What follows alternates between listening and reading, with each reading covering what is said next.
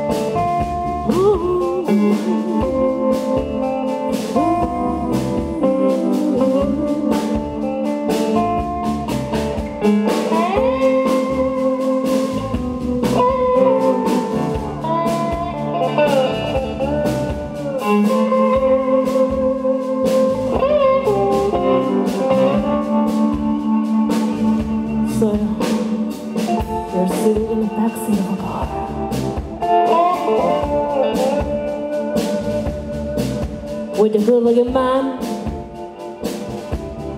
or with a good looking woman. And things start to happen.